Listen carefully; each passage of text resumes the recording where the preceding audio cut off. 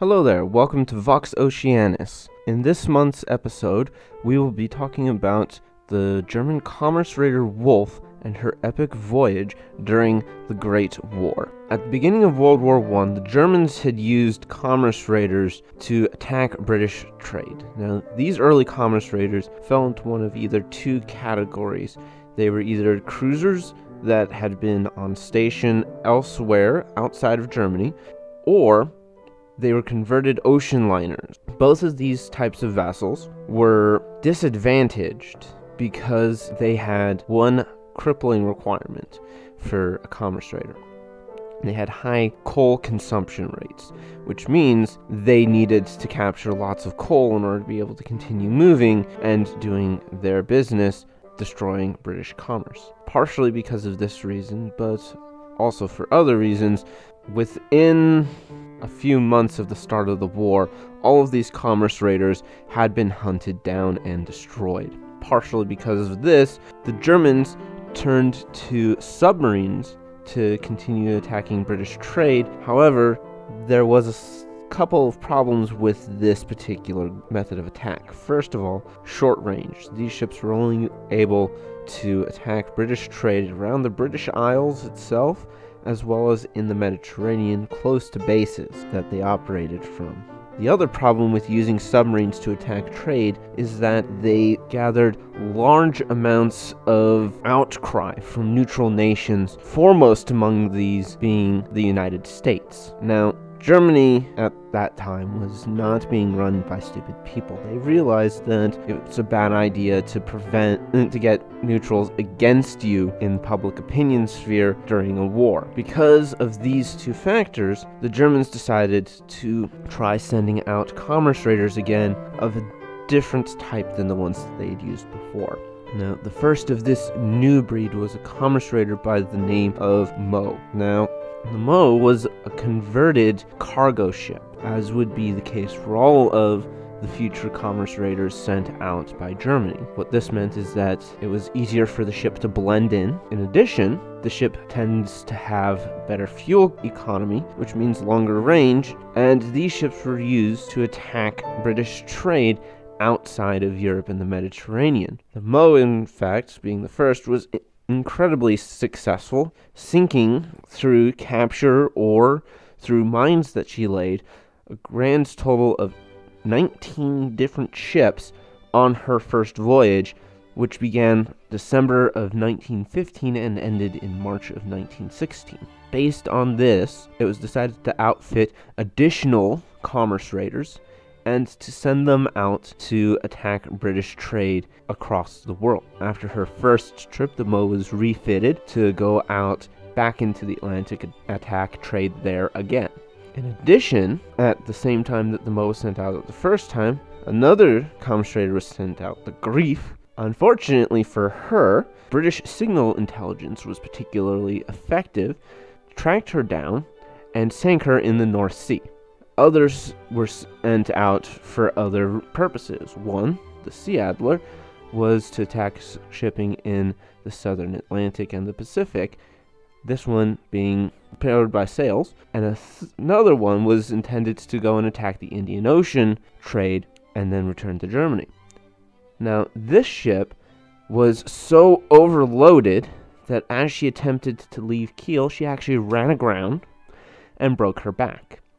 After that, the Germans decided that they were still going to send the ship out, and so they decided to get a new captain and a new ship and do so.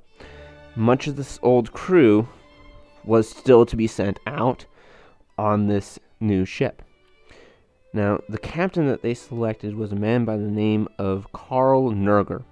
Now, Nerger was different compared to most of the officers in the Imperial Navy in that he did not come from a noble family.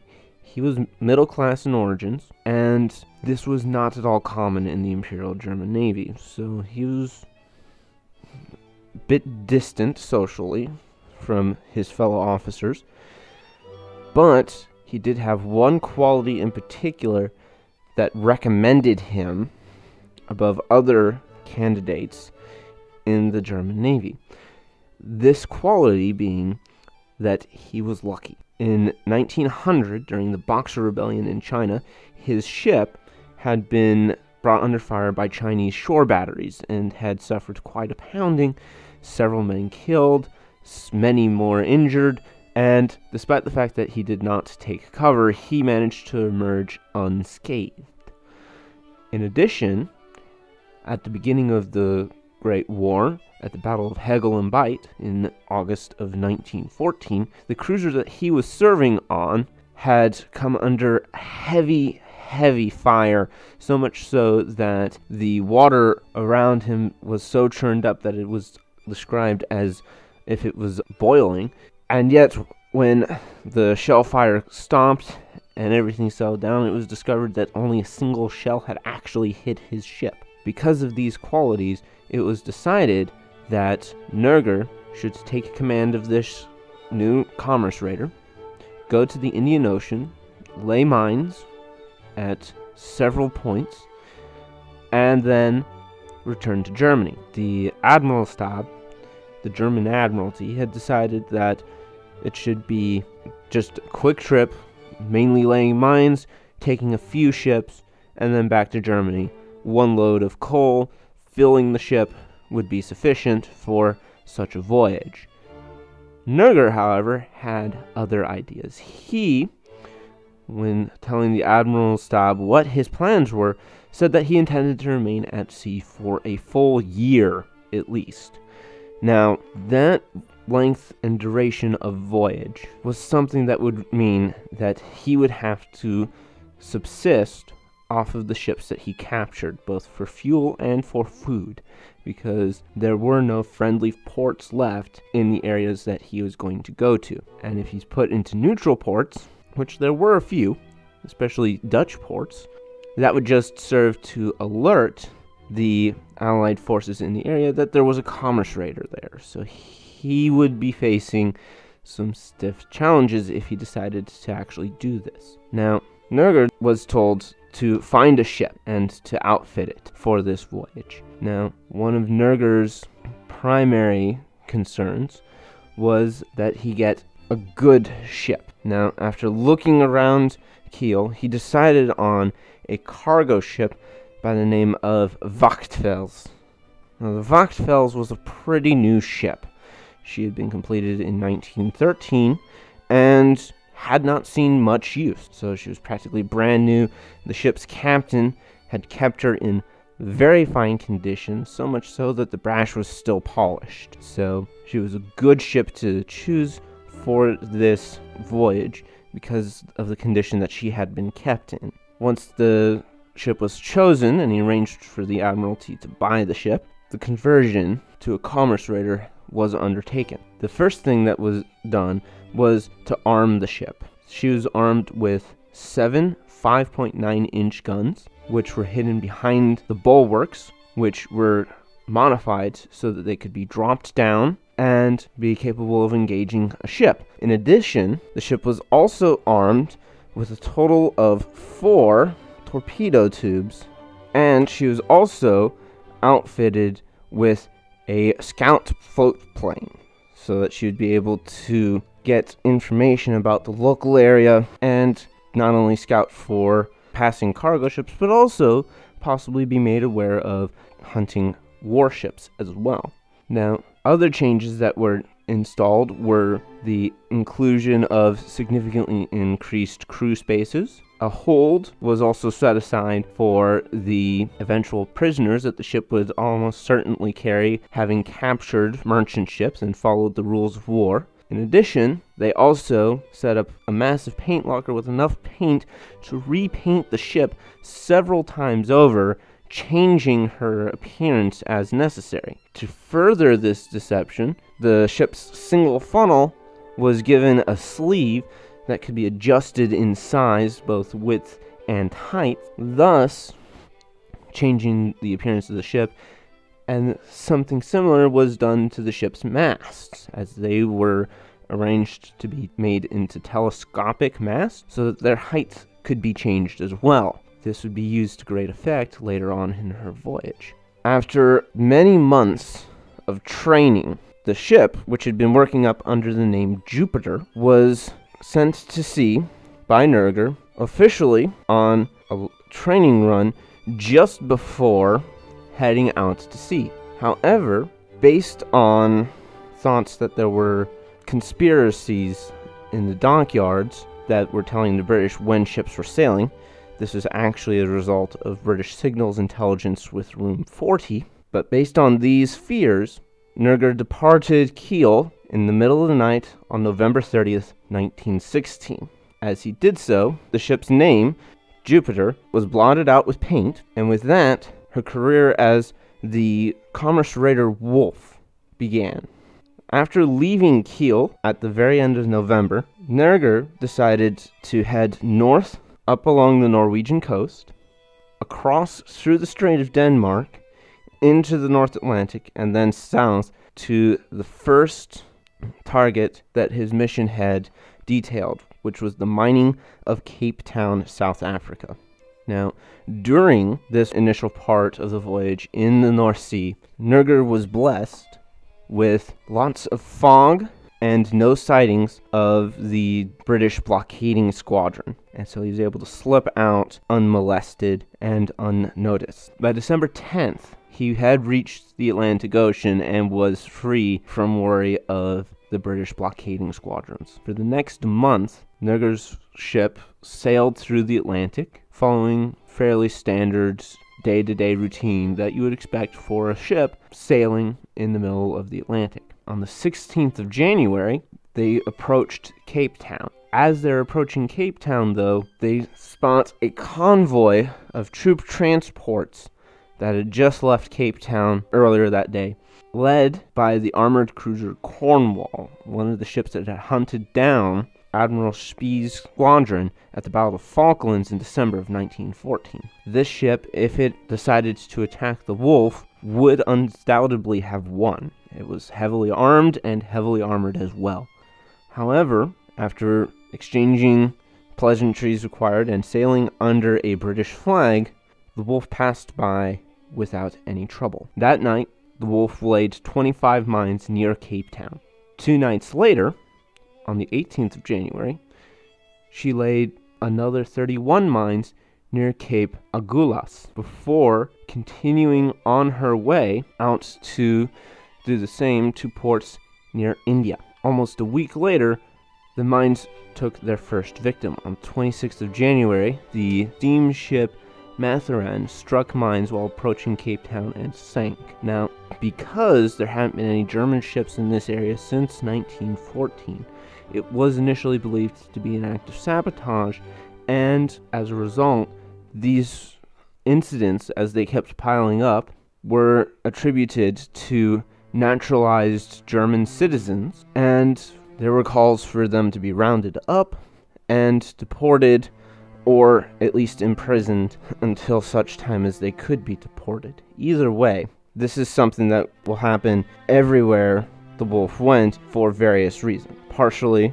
this is because of the censorship that was in there, as well as the blackout on what actually happened after various different inquiries were held. On the 6th of February, a troop ship was struck by one of the mines laid in the Cape Agulhas field. While the ship did not sink, it was a very disturbing thing for the locals in Cape Town.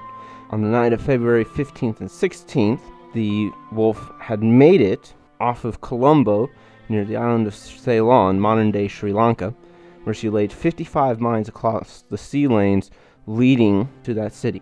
Now, while she was doing so, she picked up several freighters' transmissions, including one from the ship C de Izaguirre, and we'll come back to that ship a little bit later, but it is perhaps fateful that she passed so close to the wolf on that night. Now, as the wolf continued along, moving to her next location for mining, more ships struck the mines that she had laid. The very first one off Colombo struck the day after her field was laid there, and several other ships struck both the, the ones in Cape Town and Colombo again after that. On the 27th of February, the Wolf captured her first ship, an oiler by the name of Turritella. However, on approaching the ship, they found that she looked a little odd, a little familiar. As it turned out, the Turritella was originally the trader Gutfels, a ship made by the same company from the same construction lot as the Wolf had been. Because she was a German built ship, Nerger started to have doubts about trying to sink her because she was a fine German built ship. To get around this, the Wolf's first officer decided that he should be able to take her out and use her to mine the Gulf of Aden, which is where the ship operated quite heavily. As a result of this, the first officer, a man by the name of Iwan Brandes, was ordered to take the Turritella, along with 25 mines, to lay those mines in the Gulf of Aden. And to facilitate this, he was to take some of the crew from the Wolf but the Turritella's crew, being mostly neutral Chinese, were simply hired on to continue working the ship. The Turritella was renamed the Sein Majesty's ship Iltis and sent on her mission. On the 1st of March, the Wolf then captured another cargo ship by the name of Jumna, and with her captured a good amount of food and supplies. The fourth, the Iltis, dropped off her mines in Aden However, the next day she was intercepted by British forces, and though the British ship that intercepted her was very, very weak, the Iltis only had a single 2 inch gun and was much slower than the approaching British ship. As a result, as per his orders, the German's commander decided to scuttle the ship to prevent capture. And when news of this is sent out by wireless to the British Admiralty that they had captured a German raider in the Gulf of Aden, that message was received by the Wolf, who decided to get away a few days later, on the 11th of March, the Wolf captured another ship, the Wordsworth. This one contained large amounts of food supplies, which were definitely useful to the wolf, especially given that her new course was taking her south below Australia before coming back up to the trade route. Along the way, on that voyage, she also captured and sank an empty three masted bark by the name of the Dee. Needless to say, that did not provide a lot in the way of resources for the wolf to be able to use. Having traveled so far south, they started running into bad weather, there wasn't a lot to do, and the general mood on the ship started to deteriorate. Now, by the 24th of May, having sailed south of not only Australia but also New Zealand, Nerger decided to head north, and based on the needs of his ship, which had been going non-stop for six, seven months at this point, they needed to do some refitting. So they needed a secure, unobserved bay to do their refits at. And Nerger decided that the best spot for that would be a spot called Sunday Island, today known as Raoul Island, in order to do this refit. They turn back up and they go for their refit. Now, the next day, the C de Izaguirre, the ship that I mentioned that passed by the wolf while on its way out by Colombo, was arriving close to Cape Town. She runs into one of the wolf's mine and causes the first large casualties suffered by ships sunk by the wolf. Almost 140 people died as a result of that mining on June the 2nd, after about a week on Sunday Island, which was quite picturesque, the previous inhabitants of the island having been evacuated in 1914 at the start of the war for fear of German commerce raiders. A lot of their stuff was still there, including a small little calendar that was still set to 1914. While they're on this island, getting fresh food, uh, refitting the ship, repairing while they're doing this, on the 2nd of June, 1917, they've been there for about a week, a steamship by the name of Wairuna was coming up from New Zealand and spotted the wolf. Now, the wolf also spotted them, Unfortunately for the Wolf, two out of her three boilers were at that point out of commission and being serviced. However, Nerger still had the services of his airplane, the Wolfchen or Wolf Cub, and he used it to great effect. Used it to convince the Wairuna and her captain that the Wolf was fully operational and was going to run them down if they did not surrender. As a result, the Wairuna surrenders and the Wolf gains over a thousand tons of coal, which they were running low on, as well as food and other supplies. But most importantly, the coal. After that, the wolf put the sea to scuttle her, but this course of action was delayed by the capture of another ship, a sailing ship by the name of Winslow. They're going to return back to Sunday Island on the 16th of June. On the 18th, they will finally sink the Wairuna, and on the 22nd, they will do the same to the Winslow, but only somewhat successfully. They burn her to the waterline, but her wreckage will be found later. After sinking these two ships, the Wolf will then depart Sunday Island to mind Australia and New Zealand waters. Now, when they do this, a few days later, they're going to discover that two of the prisoners that had been captured from the ships that they had been taking were missing. Odds are they escaped to Sunday Island, and this idea was further reinforced by the fact that some of the crew that had gone back to Sunday Island after capturing the Winslow had reported that the calendar had been turned to the day that it actually was then, rather than the date when the family would have been evacuated, which would have been in August of 1914. So there's some speculation that these two men made it to the island. However, they were never seen from or heard of again. During its mining off of India, the Wolf had dropped off mines not only in Colombo but also off Bombay. And during this time, the latter half of June, several ships were mined off Bombay as well, sparking even more panic. By the 27th of June, the Wolf had reached New Zealand and they laid mines off of Wellington. In addition, they laid additional 25 mines off of North Cape, New Zealand as well.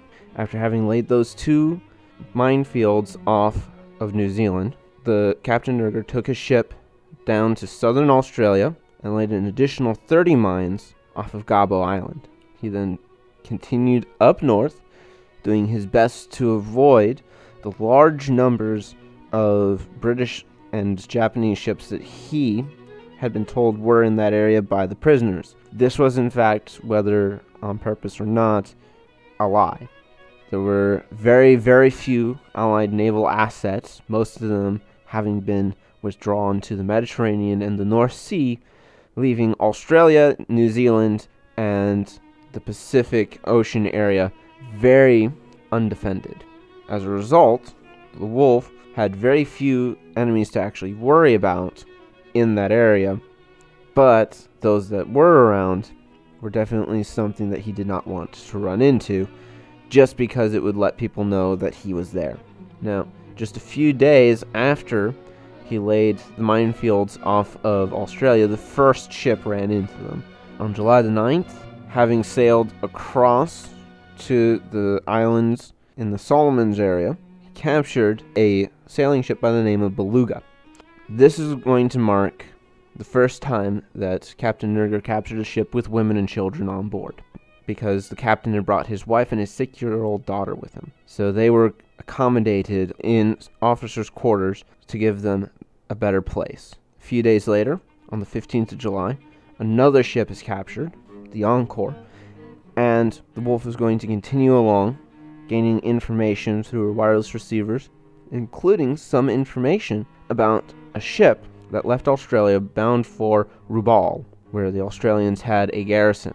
Due to the information that they were able to pick up, they were able to intercept the ship, and when they came aboard, they were even able to greet the captain by name, tell him that he was late, having expected him to arrive a few days before, and asking them to show him where his fine Westport coal was. I'm sure that that was quite the shock for the captain of that ship, the Matunga. In addition, the ship was carrying several Australian military personnel bound for Rabaul, including the doctor and his wife. And these people would end up having similar accommodations provided as had been provided for the captain of the Beluga, a man by the name of Stan Cameron. And so the wife of the doctor would end up proving to be a fairly large distraction, a woman by the name of Rose Flood. Now, after they deal with that ship, the Matunga, they're going to continue along because Nerger realizes after looking at the ship that with the amount of stuff that's on board that he needs, he's going to need to find another safe harbor to offload everything that he needs. So what he's going to do is he's going to sail north of Rabaul and then turn west. And eventually arrives at Offak Bay on the island of Waigeo off the western end of New Guinea. Now, while they are shifting the cargo from the Matunga onto the Wolf, and because of the oppressive heat and humidity, initially they're going to allow a lot of the prisoners up on the quarterdeck under guard, of course. Now, because of what had happened on Sunday Island, the Germans are particularly afraid of the prisoners trying to escape. The prisoners had already figured out that, what with the sharks in the bay, the inhospitable terrain, the Germans on watch, the machine guns, and all that stuff, escape was not going to happen. However, a lot of the newly arrived Australians were still being Australians at this point, and they decided to try and kind of tweak the noses of the Germans a little bit and kind of sit around and look and whisper conspiratorially to themselves and raise the Germans' paranoia in general. However, this ends up not being a good thing because the Germans had just also captured the entire alcohol assignment for the garrison of Rabaul on the Matunga, and some of them started to imbibe these newfound refreshments. After doing this, one of the guards got startled by one of the prisoners getting out of his hammock after they'd been brought back down to the prison holds to go to sleep for the night. Got startled by one of the guys getting out of his hammock to go to the head, which was basically a bucket on one of the ends of the hold that they were in. Because of this, he panics, starts firing, calls for more guards. Prisoners start fighting each other because they don't know what the heck's going on. And at the end of all the commotion, when everything is sorted out, and some of the guards, having been certain that some of the prisoners had escaped and were trying to swim to shore, which turned out to be alligators, it was found out that not a single prisoner had escaped. Some of the German officers found it quite amusing. Most did not. And things got a little more strained between the prisoners and their captors. After finishing the unloading of the Matunga, on the 26th of August, the Wolf departs that bay and heads in the direction of Singapore. Now, initially, this move looks to be insane. Singapore is the center of the British naval power in the region. There's basically one way in and one way out so far as the Wolf is concerned, the one way in is the direction that they're coming from. The other entrance that they could theoretically use is the Strait of Malacca. Now, the Strait of Malacca is very, very narrow. And so the chances that they will be found and stopped if they try to go through there are exceptionally high. And so attempting to go this direction seems like a death wish. And in fact, on the 2nd of September, it almost seems like it is. Because as the wolf is going up in the direction of Singapore. She runs into an Australian warship, the Psy. Now, the Psy is an old ship. If she actually ends up engaging the wolf, she might do some damage, but she's going to be sunk, beyond a doubt. And she closes very, very close to the point where Nerger was very, very tempted to launch torpedoes at her and just sink her right out. But based on his need for secrecy, he does not fire. And somehow, Sai, either because the captain's not paying attention or for some other reason, doesn't challenge the wolf and continues on her way. Now, the Sai apparently did not mention anything of this in its logbook. Nerger and his gunnery officer were certain that they must have been seen, but nothing came of it. So they continue on their way. The wolf, on the 4th of September, uses the last 110 of her mines that she started out with and lays a field north of Singapore near the Anambas Islands in a crescent going from west to east, taking her back out on her escape path. Now, the next day, a man by the name of Tom Meadows, one of the prisoners, the captain of the Turritella, in fact, he did not like the Germans. He deeply dislikes the Germans. And so he was doing his best to let the British know what was going on. He had written up a description of the wolf, what the plans were, because just about everybody on board had figured out that they were going to be mining off of Singapore. This is not the first time that he had done, he had done this. He also had a sketch of the ship, put these into a bottle, and he tossed it overboard. He did this right as the prisoners were being sent back below at the end of the day. And as he was doing so, he's spotted by one of the German guards. Needless to say, doing something like this, if he's caught, could very well get him killed, but he's doing it anyways, so he's got some courage. However, in order to prevent this, as the guard is coming over, he kind of rushes into him, knocks him over, tosses the bottle overboard, and then claims that knocking the guard over was completely an accident. The ship's officers, both the prison officer and Captain Nerger, were convinced that a bottle went overboard. Unfortunately, there was not enough evidence because the German guard hadn't seen for sure that he tossed a bottle overboard. As a result, and the fact that killing this man would probably insult a riot among the prisoners, Captain Nerger decides to instead only confine Meadows to solitary confinement for five days instead of killing him. Now, a few months later, the bottle will be found, and the information is going to be eventually brought to the notice of British authorities, but not until far too late. However, the information about the Singapore minefield was definitely useful because apparently the Wolf's crew were off on their soundings and not a single ship ran into any of the mines that were laid off Singapore. By the 10th of September 1917, the Wolf had passed through the Alas Strait and back into the Indian Ocean, making good her escape from Singapore. All the while, while this was happening, ships had been running into mines. On the 26th of September, Wolf ran into a Japanese cargo ship, the Hitachi Maru. Now, the Hitachi Maru was a bit different. She carried large numbers of passengers and very, very rich cargo. However, when the Wolf came up, closed with the Hitachi Maru, raised the German flag, fired warning shots, ordering them not to send out any transmissions and to slow down and prepare to be boarded, the Hitachi Maru decided to try and run away and resist. They had a gun on the quarterdeck as the ship tried to speed away, her crew attempting to get to the gun. The Wolf fired on the Hitachi Maru, taking out her gun, and after several shots, all directly hitting the gun, taking out the crew several times. They also sent one salvo into the ship's wireless shack to disable that. After that, the Hitachi Maru finally surrendered. Now, all of this was highly irregular. This was the first time that the Wolf had actually needed to fire its guns, other than for signaling warning shots. Hitachi Maru's captain, Captain Tominaga, claimed that what he was doing was following the instructions provided by the company for what to do if he ran into a U boat.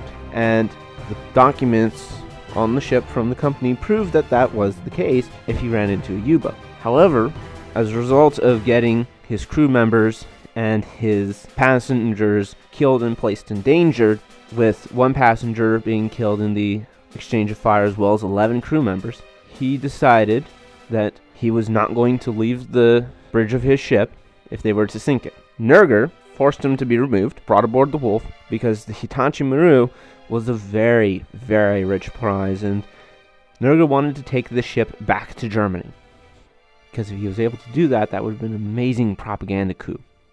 Now, after arriving the next day in the Maldives to get everything set in order, transferring of supplies, as well as being able to transfer prisoners, including the lady prisoners from the ship to the Hitachi Maru, the Wolf, because she was going to need more coal, decided to continue raiding, looking for that extra coal that was needed. She departs on the 3rd of October to do so. On the 6th of October, though, so just a few days later, the Wölfchen flies over the Hitachi Maru, drops off a message telling them to go out and to meet the wolf at a pre assigned location. Now, on the way back, there's going to be various changes happening for the passengers. A lot of them are going to end up disliking the German officer placed in charge of the ship, a man by the name of Karl Rose.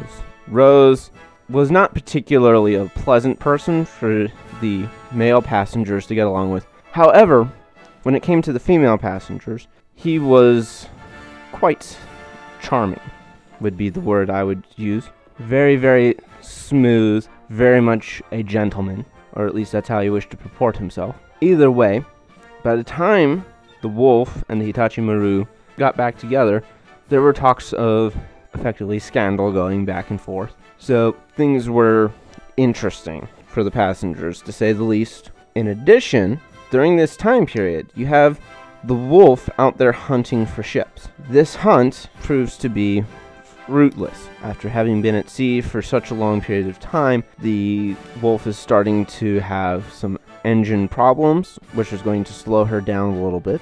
They're just not as effective as they used to be. In addition, there's undergrowth, which is going to decrease the speed of the ship as well. While the wolf is out hunting, news is going to come back of mutinies that were taking place in Germany. Now, a lot of these mutinies were actually less mutinies and more strikes, but they were dealt with quite harshly, and this is something that will become a problem of sorts for the German crew of the Wolf as well. Something that will eventually become a problem for the entire German Navy. Around the 20th of October, the Wolf and Hitachi Maru rendezvous off Coco Island.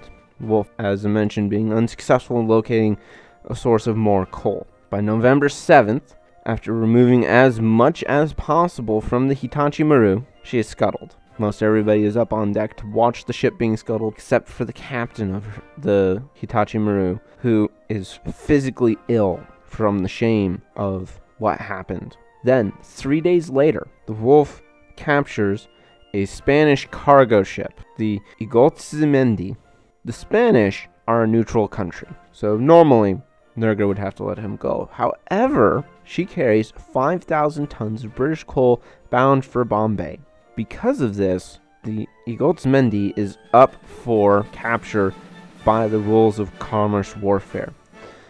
As a result, Wolf is going to return to Coco Island and sort out what to do with the cargo and the ship. Now, as a result of this, a lot of the passengers that had been on the Hitachi Maru while the Wolf was hunting are transferred back over, along with the German prize crew, and the Spanish crew stays aboard their ship as well. So, a ship that had originally had a crew of about 30 people now has 60 people on board, as well as several thousand tons worth of coal, though large amounts of that are transferred over to the Wolf. In addition, by this point, the Wolf, Chin, the, the airplane, has been permanently disabled, her canvas covering ripping and being unrepairable by this point. Since she is disabled, she is disassembled and stored below for the rest of the voyage.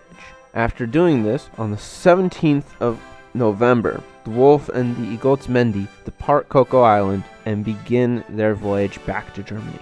However, the next day, there is a rebellion by some of the German crew on the Wolf.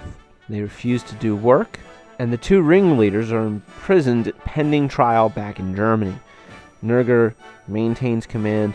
This is the closest that the ship ever actually comes to an actual mutiny. On the 30th of November, the Wolf captures another ship. This is the last ship that the Wolf captures in the Indian Ocean. And if it had not been for the fact that she was a sailing ship, the Wolf would not have been able to catch her. By this point, the stress on her engines and the fouling on her bottom had become so much that she is no longer capable of making more than 10 knots. So she's making single digits for her speed now, which means that she can't capture all that much in the way of ships. After rounding the Cape of Good Hope, she continues up into the Atlantic, running into a French bark called the Marechal Davout, which she captures, brings food aboard. Now, after that, Nerger is going to continue on, attempts to call from the Igotz Mendi in the middle of the Atlantic on the 23rd of December. Now, unfortunately, apparently the Igotz Mendi had this weird little quirk where she actually rolls heavier in a light swell than she does in a heavy swell. This slows down the coaling process significantly and results in the two ships battering each other remorselessly. On the 25th of December, Nerger decides to suspend coaling temporarily to celebrate Christmas. The next day, he attempts to resume the coaling, but the swell causes the ships to continue to bash into each other, resulting in significant damage. The Igotz Mendi's superstructure is bashed down, and the Wolf even has some of her plating on the waterline buckled in, letting in water to the ship. As a result of this, Nerger is forced to stop the coaling the next day, not having taken enough coal boards to get her back to Germany, meaning that she'll have to try again later. By the 1st of January, the ship, which had been at sea for over a year at this point, begins to see the first signs of scurvy setting in amongst the prisoners. A few of the crew will end up getting scurvy as well, and a disease called beriberi, which had begun to affect some of the crew before they turned up north from south of uh, New Zealand back in May, starts to affect the crew as well. Now, beriberi is a vicious disease where if you don't get enough of the proper nutrients, you actually start to lose the ability to control your muscles. And while that might be very simplistic and possibly incorrect, that is the effect that it has. So, these are not good diseases. On the 4th of January, Captain Nerger captures and sinks a Norwegian bark, which he does mainly to prevent the ship from telling anybody where he is. But he manages to find some somewhat flimsy reasons why the ship needs to be stopped and sunk. On the 10th of January, despite the swells, Nerger decides to try and get the last bits of coal that he needs from the Igotz Mendi in order to get back to Germany. By this point, they had reached about the equator. Now, Nerger is able to get the last 500 tons worth of coal that he does, but again, the ships were scraping and grinding against each other with the swells, causing massive damage. When they finally split up from each other from the coaling, the Igotz Mendi had had all of her paint practically scraped away. So, again, this was not an easy thing. On the 24th of January, the Wolf and the Igotz Mendi finally sp- split up before returning to Germany. During this time period, Commander Rose had been telling the prisoners and the Spanish that they were intending to release the ship to go back to Spain prior to returning to Germany. There is no evidence that that was actually anything planned by Karl Nerger before he got back to Germany. As far as we can tell, these were probably lies to keep the crew and the passengers contented and not going against the German crew on board. Now, just a few hours after the Wolf and the Igotz Mendi split up, the Igotz Mendi runs into a convoy of troop ships bound for Europe. Unfortunately, it is effectively a repeat of the incident with the Australian ship Psyche. Now, during the confusion, though, the Spanish first officer throws the scuttling charges overboard. For this, he is rightly regarded as a hero by the prisoners because, so it is claimed, he tells, told Captain Rose that he did not do it for himself, he did it for the women and the children on board. Either way, brave thing to do. Shortly after this, the two ships are hammered by winter storms in the Atlantic. These storms were some of the fiercest ones that any of these sailors had ever seen. And there was a very real possibility of the ships not making it, and certainly that things would not turn out well, even if the ship didn't sink. For a lot of the passengers on the Igotz Mendi especially. On the 8th of February, Captain Tominaga, who had been the captain of Hitachi Maru, was found to have disappeared.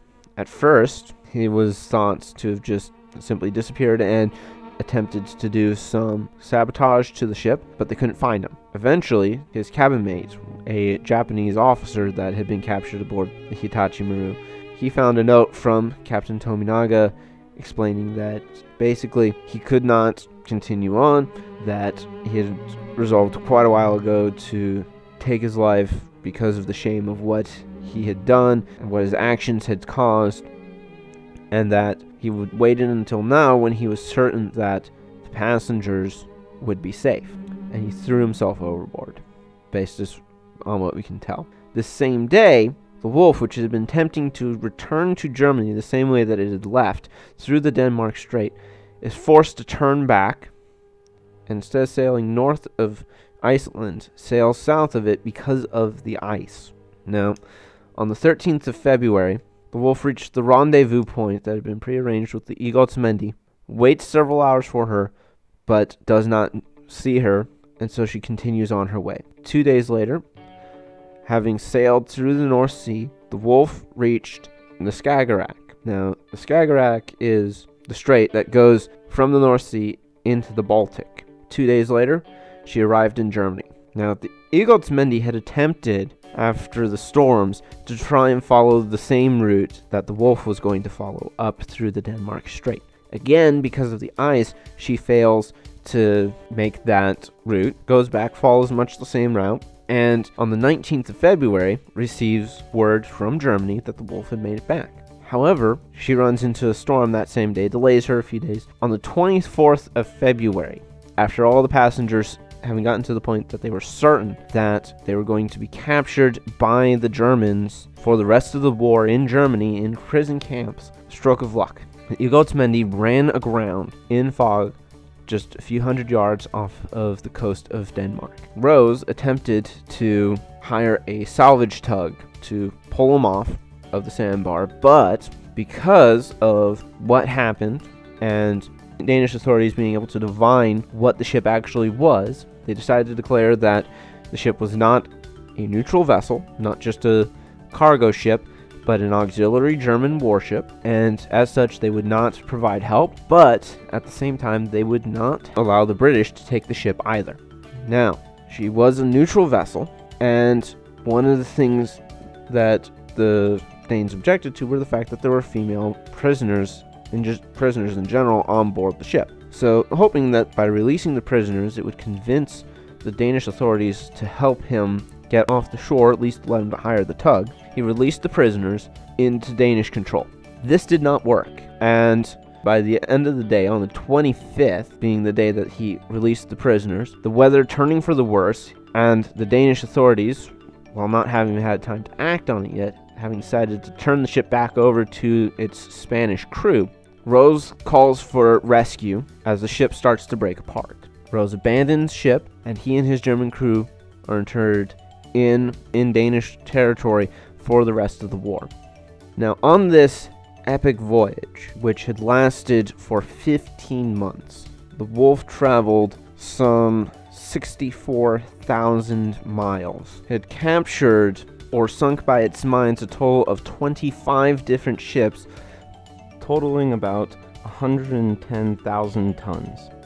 So she was very successful, kept the British guessing where she was, and at one point had pretty much the entire naval forces of the Pacific and Indian Oceans looking for her and still managed to make it back to Germany in one piece. Such a feat of seamanship is very impressive and very likely won't be seen again except in similar extraordinary circumstances.